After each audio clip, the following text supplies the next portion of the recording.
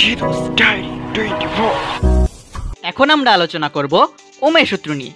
তো কোনো একটি পরিবাহীর যদি দুই প্রান্তের মধ্যে বিভব পার্থক্য বিদ্যমান থাকে, তাহলে তার মধ্য দিয়ে তড়িৎ প্রবাহ চলে। তো এই তড়িৎ প্রবাহের পরিমাণ নির্ভর করে এর পরিবাহীর দুই প্রান্তের বিভব পার্থক্য এর আকৃতি ও উপাদান এবং তাপমাত্রার উপরে। তো আমরা যদি একটি নির্দিষ্ট পরিবাহীর এবং স্থির একটি তাপমাত্রায় মধ্য দিয়ে যে প্রবাহ চালায়, তাহলে তার এই প্রবাহ নির্ভর করবে এই একটি মাত্র যা বাকি থাকে এই বিভব পার্থক্যের উপর।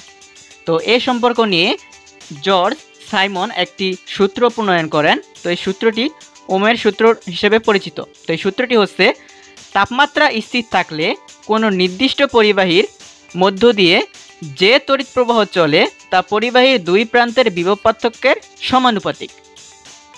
তো ব্যাপারটি কীরকম? ধরে নাও, এ বি একটি পরিবাহী এবং এর দুই প্রান্তের বিভব যথাক্রমে ভি এ এবং ভি বি। তো এখন এই দুই বিভব পার্থক্যের মধ্যে যদি ভি এটা ভি বির চাইতে বড় হয়, তাহলে কি হবে?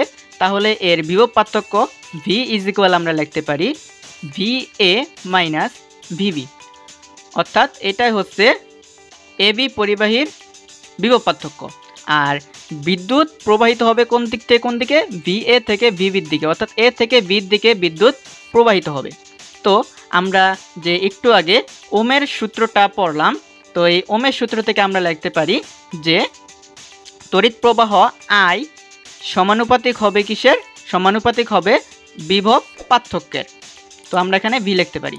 তো এখান থেকে আমরা যদি সমানুপাতিক চিহ্নটাকে উঠিয়ে দিতে চাই, তাহলে আমরা লিখতে পারি আই ইজ ইকুয়াল এখানে একটি ধ্রুবক বসিয়ে দিতে হবে। তো এখানে যদি আমরা বসিয়ে দিতে পারি জি আর ভি তো যেখানে জি হচ্ছে একটি সমানুপাতিক ধ্রুবক সমানুপাতিক ধ্রুবক।